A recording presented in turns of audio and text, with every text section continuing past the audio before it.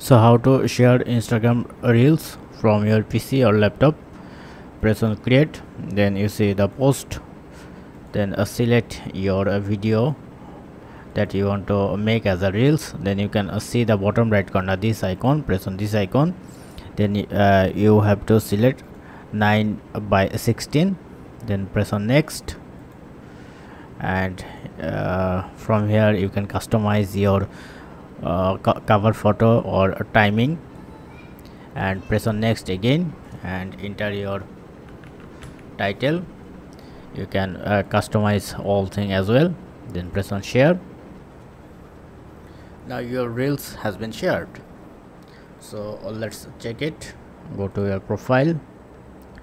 Then once you go to your reels then you can see this as a reels so that's it. Thank you for watching. Have a good day